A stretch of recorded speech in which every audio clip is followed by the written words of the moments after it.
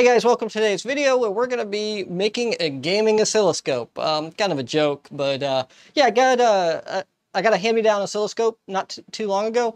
Uh, it was non-functional. It, it's basically a computer. I didn't record the repair process because I don't really do PC repair. It's not my thing. Uh, so yeah, it was a little bit of a process getting it back working. I have it working now, uh, and since I have it apart, I was like, eh, it's an old computer. Let's let's give it a little upgrade. So I'm jokingly calling it the the gaming oscilloscope because I'm adding more RAM to it in this video and we'll just take a look at the inside of the oscilloscope too. But it's a it's a text Tektronix oscilloscope. It runs on Windows 2000. Uh, I'm probably going to upgrade the hard drive in the future, but not in this video. So all what we're doing right now is adding uh, more RAM to it and just taking a look at the oscilloscope. It's actually a really neat oscilloscope, but I, I need to get it back together so that way it's not spread across the office in parts. Um, I, I have a new workbench coming in the mail. I need to assemble my new workbench, and I'm going to need as much room in here to do it as possible. So, uh, yeah, probably won't have any more repair videos up until after the workbench is built. Uh, I may do a video on assembling the workbench just you know, for the heck of it. And they'll let you guys kind of see the office a little bit more than you normally do. Uh, let's uh, let's get right to this and take a look at the uh, oscilloscope. So let me uh, just first bring the oscilloscope over here. We'll take a look at it, and then uh, I'll start uh, kind of messing with it. Okay, well, just because of the sheer size of this thing, um, I'm going to just work with it from on the floor. so yeah, just just deal with it. It's a different angle. Let's go ahead and just pull the motherboard out and take a look at it. So the motherboard's this back one. There's really technically two computers inside here. You have the uh, Intel motherboard here that uh, it's the computer part of it, and then there's a Power PC um, motherboard that goes into the PCI slot that uh, kind of does the screen and, and the oscilloscope work.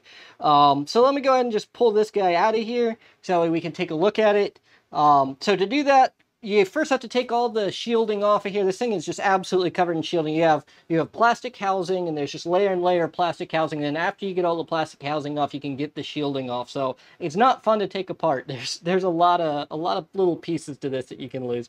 So to get it apart, once you do that, you just slide this out the back end of it. So it it comes out, and then you uh, unplug. So that's the uh, power going from the the little power PC board does the power distribution. And then we have another power plug down here, which is your square one going to the um, CPU, I believe. And then you have two uh, uh, IDE connections. The, um, the plug for the power button and all of that is the ribbon cable one. And you have a USB plug too, which is that guy right there.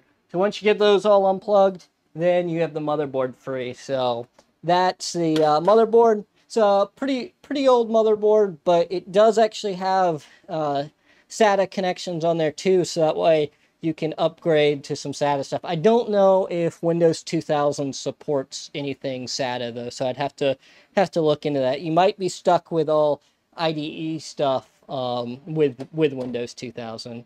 So that's the motherboard. Let's go ahead and flip it around so you can take a look. So uh, what was wrong with it was the, the power supply had failed. Uh, it the uh, the 12 volt rail was only getting uh, 11 volts, and the negative 12 volt rail was only going to to negative 9 volts. So uh, had to replace the power supply. Uh, when you replace the power supply on this, um, you uh, run into a couple of problems. First, a normal power supply is going to have way too many connectors and everything in there, so you're going to have to trim off some of the connectors or else you're just not going to be able to fit it all in there. Uh, all's what I left on here was a uh, SATA style uh, power connector, and then um, we have the, um, the Molex connector, and uh, I left this guy on here. Uh, the one normally goes to like a video card and stuff. I left it on here for the CPU because for some reason I thought I needed it, and then I remembered it, that that power actually came off of this Power PC board. So yeah, this is the, the little Power PC one, um, Power PC logo. Hopefully you can see it. Um, so what this one does is it's basically the video card and does the uh, it it's it's basically a Linux computer uh, going on there, so it, it boots separately. The uh, floppy drive is uh, over USB, so it's just got one little connector there. The um, hard drive is IDE, and so is the DVD drive. It has a DVD drive over here on the side. Uh, take a look at that. So it's one of those laptop style uh, DVD drives going in there. So yeah, had to trim down the power supply to, to make it work. And I also had to add what, some of the cables that were coming out of. The only thing special about the old power supply is this connector here. Um, it, it had some uh, current sensing cables that went around the plug so that way it could kind of tell how much current the whole thing's pulling and compensate for it. That's the only modification, uh, only major modification I did was uh, replacing the wires coming in, into the plug on there uh, with with the other ones that had the current sensing going across it. Um, so did have to make that change to the power supply, and then again I just I trimmed off uh, a whole lot of the, the uh, power connectors off of it. Uh, I went with the Corsair because it was cheap. Uh, it was just a, a, cheap used one. Most people would probably have something like this laying around. I did not, so I turned to eBay and uh, got it for like 30 bucks. So uh, got a got a power supply uh, to to make this thing work.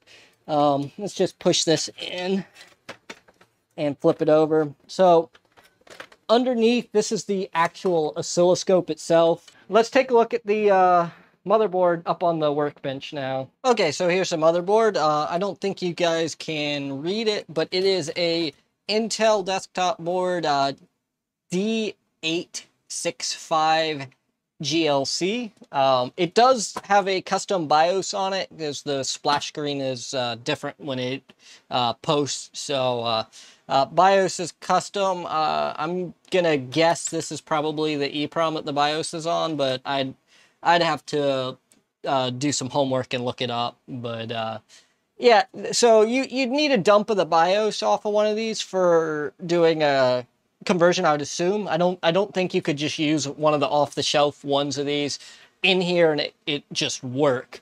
Uh, I think you would need to uh, clone the the BIOS over from from this guy over to the other one. I, so yeah, not not sure. This one just has a marking on it. That's why I uh, assume that it's something that they did some work on. Uh, it's got a little Sharpie mark on there.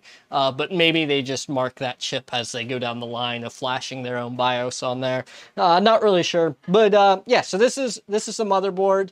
Um, so what we're going to do today is take this RAM out, which is the original um, it is uh, 512 megabytes of DDR, um, and it's, uh, I guess the speed's uh, 333. Uh, so we're going to replace that with um, this guy right here, which is one gigabyte DDR DIMM-Q. Um, so yeah, same thing, just one gigabyte sticks. So we're going to put two of these in there.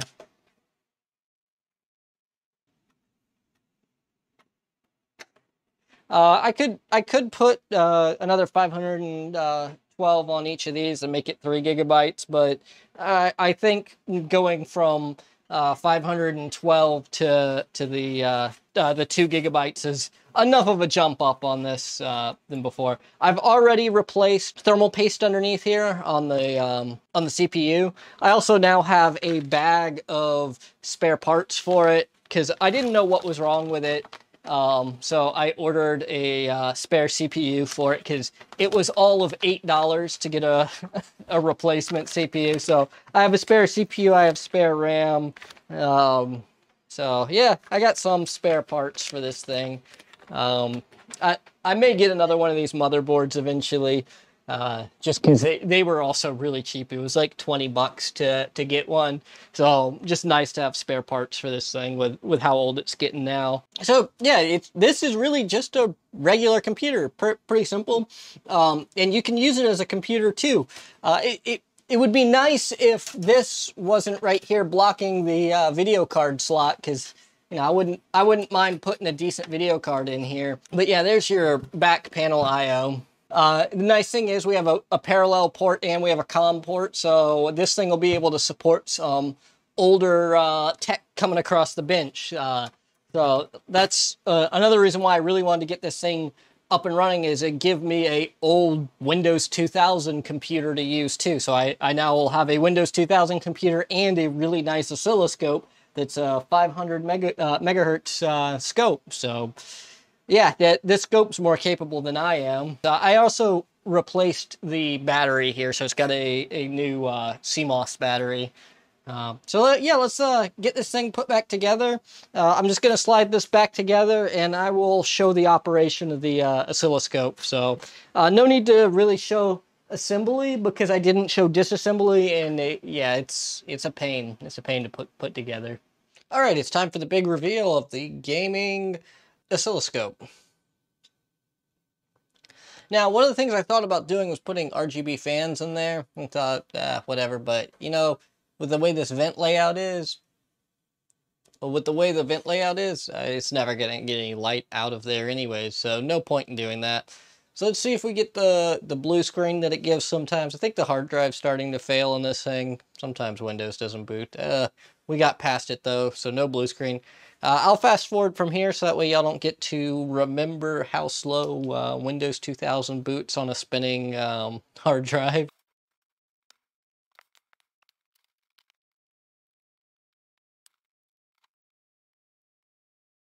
All right, so we got it booted up. Um, let's go ahead and hook this up. So there we go. We got a nice little square wave coming off of the oscilloscope here. So yeah, this is my favorite feature right here, the multi-zoom. Uh, so lets you get uh, two zooms off of the same thing and it shows you where it zoomed in at on it. So you can see the whole thing and see if you have any weird peaks or anything going on there. Um, so yeah, that's that's my new favorite feature here of this uh, oscilloscope. But yeah, this thing super awesome, way more capable oscilloscope than I am capable of using, uh, and uh, definitely more capable than than my other oscilloscope. So my normal daily driver is this. Um,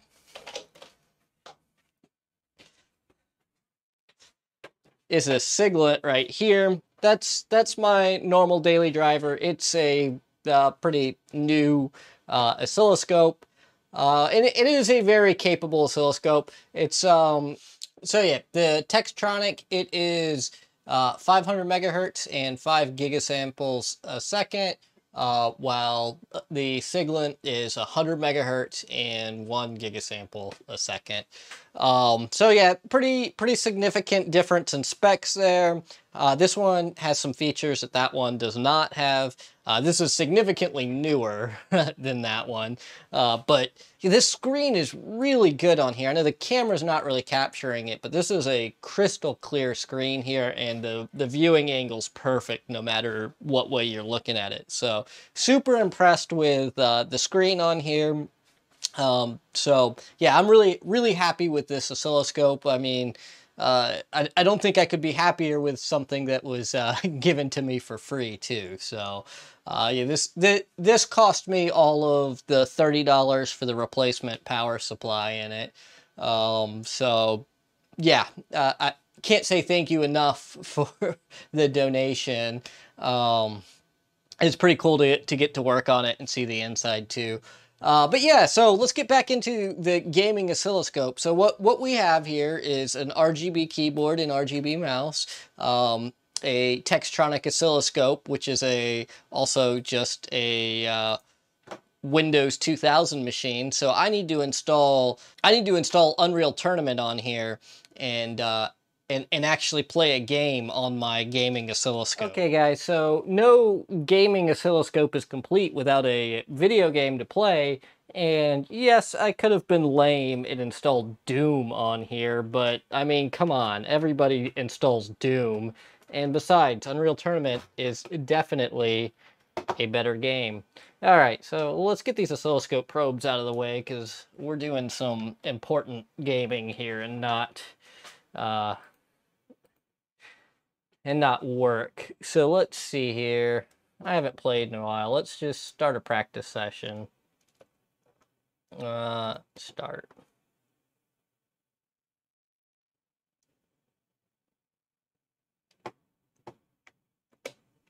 Uh, WS. Okay. Uh, oh, it's not WSD. All right, let's see here.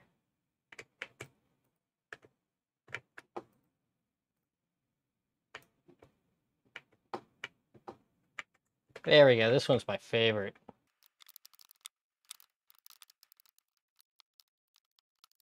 I killed myself. Alright. Yeah, I'm playing him in spots. That's kind of sad that I died.